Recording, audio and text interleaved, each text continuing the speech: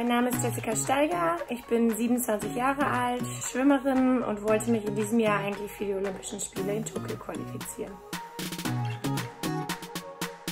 Ich muss zugeben, dass ich am Anfang überhaupt keinen Bock hatte auf meine Sportart. Meine Mama ist selbst Schwimmerin und wollte mir das Schwimmen beibringen. Sie dachte, so schwer kann das ja nicht sein. Aber ich habe es wirklich zu einer schwierigen Aufgabe gemacht und ja, letztendlich hat mein Papa, eigentlich ein Nichtschwimmer, mir das Schwimmen im Urlaub beigebracht und dann bin ich auch in den Verein gegangen und als ich endlich schwimmen konnte, hat es mir auch wirklich Spaß gemacht. Ja, und so hat meine Geschichte eigentlich begonnen.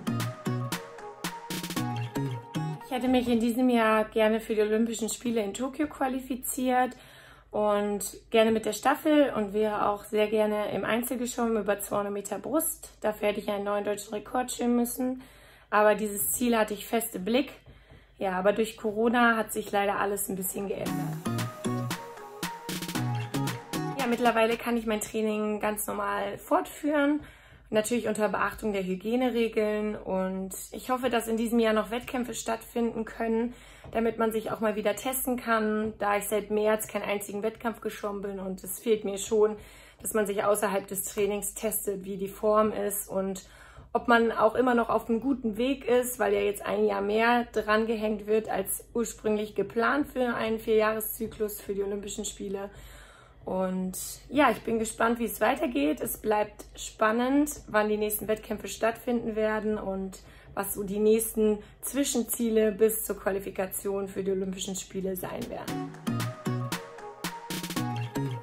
Ich motiviere mich eigentlich immer gerne mit Videos von vergangenen Europa- und Weltmeisterschaften, bei denen ich dabei sein durfte, um mir dieses Gefühl wieder zu holen, diese Stimmung dort vor Ort und dass ich das einfach in einem größeren Rahmen wie den Olympischen Spielen nochmal erleben möchte.